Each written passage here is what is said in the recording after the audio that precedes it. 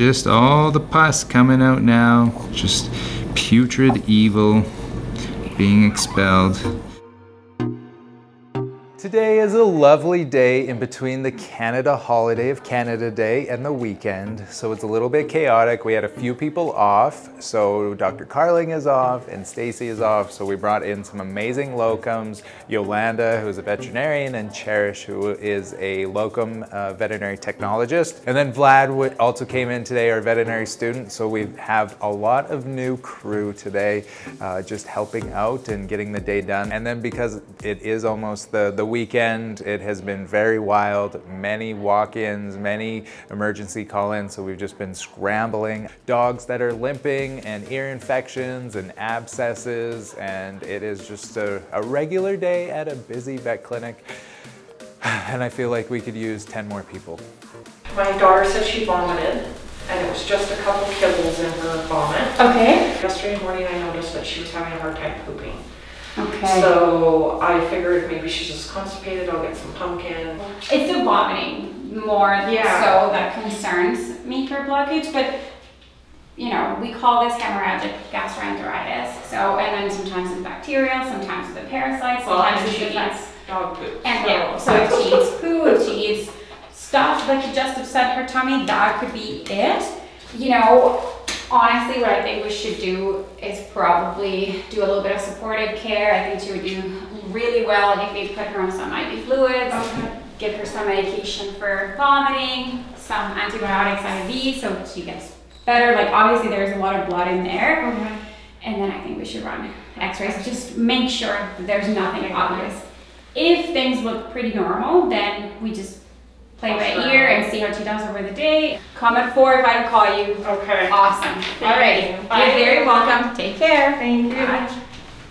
Okay. Like her physical exam, other than the drooling, is pretty pretty normal. I mean, obviously there's blood in the stool, but she's very stable. And then the girls are gonna put her on IV fluids and give her good medication for nausea and see how that goes. In a puppy, like in a young dog like her, fully vaccinated, that has history of getting into the garbage, getting into the cat poo, getting into everything under the sun. Um, it could be just dietary indiscretion, just something that upset her tummy. However, it could also be an obstruction, you know, of the stomach, uh, in the stomach or the gastrointestinal tract. So we just want to make sure that that's not the case. She can also have a parasite or bacteria. So right now we're not, because she's quite stable and she seems to be a little bit of a troublemaker, we're not gonna necessarily worry too much on what it is. We're just gonna treat the symptoms and just make her feel better. And if that doesn't work, then that's when I go and, and try to find exactly what's happening. Jody, can you take also some blood just to have it there before we, you know, hydrate her? Absolutely. We'll give her two different medications. One is an anti-nausea medication. The other is an antibiotic. She looks so much better, brighter, and she's not drooling anymore. So, Luna. Romania is working. Yes. Just fluids. They go a long way. White paws and wiener dogs. Is it gonna be in the webisode? I don't know, we'll get sued already. right away. What are you up to now, Cody? Should I follow you? Um, sure. Just vaccinating this boxer. His name's Hercules. He's nine and he's beautiful. And he is due for his rabies and kennel cough. And then we're also gonna deworm him. And uh, other than that, he's perfectly healthy. This one goes in the mouth. There we go. And then this is your dewormer to take home, okay? Okay. So just do that tomorrow. It's just a beef flavored chew. Other than that, we're good. Great, thank you. No, no problem. This is exactly what a scammer would write. Oh my goodness, I'm dying, almost choked. The zombie popsicle. That looks like a scammy thing. I have determined that if we are ever in zombie apocalypse, popsicle, anyways, zombie popsicle. If we are in the zombie popsicle, what is going to happen is I am going to be the first one to go, and I will tell you why. Milo is a three-year-old kitty that has been shaking his ears for the last six months. Sometimes when he shakes, there's fluid coming out of it. So I did a quick exam and everything looks good. There doesn't seem to be anything in his ears. So we're just gonna do a deeper look. Pretty much I'm searching for, you know, inflammation of the ear canal, maybe a polyp or something that could be causing discomfort. It is a little gunky, you can see. Oh yeah. So let's grab some gauze and some swabs. Sometimes he has discharge from an infection, so we're gonna check that as well. Make sure he doesn't have an infection.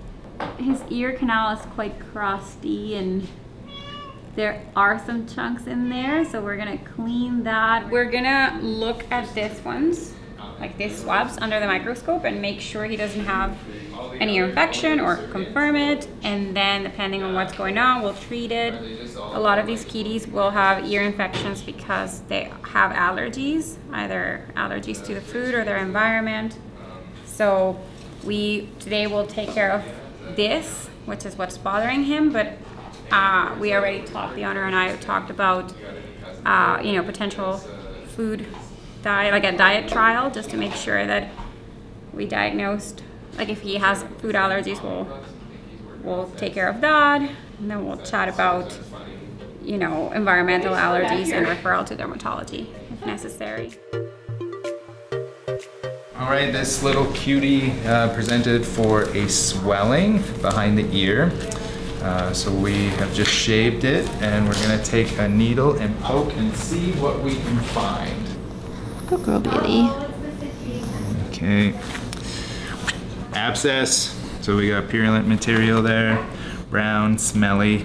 So now we're gonna open it up and take all of the evil out. Just all the pus coming out now. Just putrid evil being expelled. So now we're gonna flush it and uh, maybe open it up a little bit more. See if there's any foreign bodies in there. But uh, yeah, that's a big abscess for a little doggy. We're just gonna flush with saline and then we'll uh, explore the wound a little bit just to make sure there's no chunky bits left. So he's just probing through the abscess to see how far the pocket goes and if there's any foreign material in there. So she had a history of a um, a bite wound a year ago. So from that, there could be like a broken tooth or something left in there that would cause it to re-abscess, or it could not be related at all.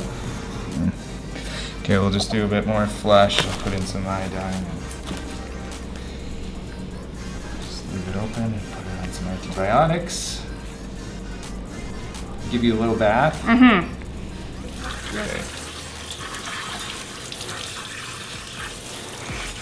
Could you get us a towel? There's some right around the corner.